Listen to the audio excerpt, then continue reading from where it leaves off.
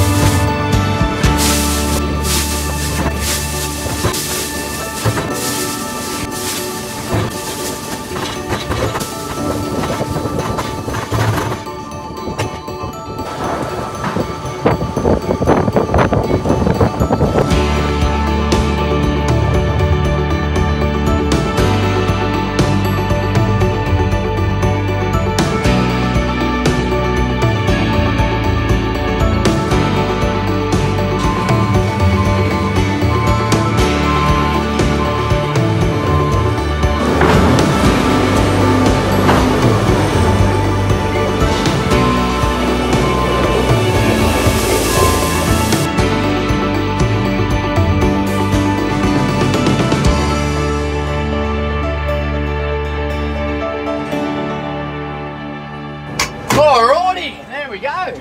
We just about got ourselves a load there, I reckon. So um, we'll have a little bit of a clean up here for the next person, and then um, won't just roll those tarps out just yet. We'll uh, get going down the forestry road, let it settle down a little bit, and then the tarp should go over, you know, in about two minutes. Fingers crossed. So um, yep, we got uh, upwards of 40 ton there, probably about 39, something like that, and uh, a nice handy little load. All right, guys. Hope you're having a great one, and uh, we'll catch you next time. See ya.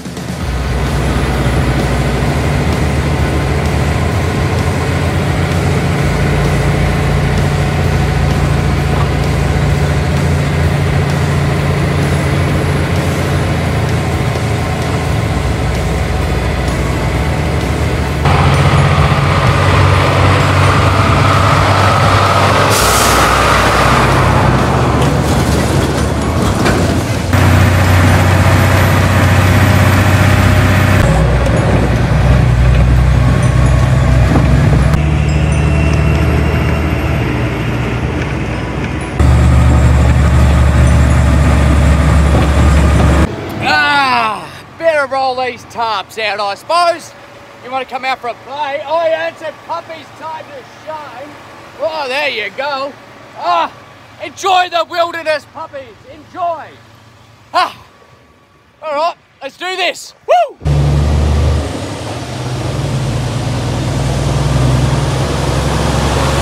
Puppies, get up the puppies.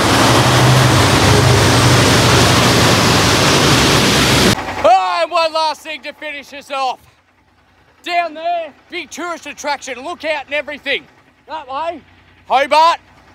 That way, where I just came from, logging tracks, dirt, wet, muggy, just crap.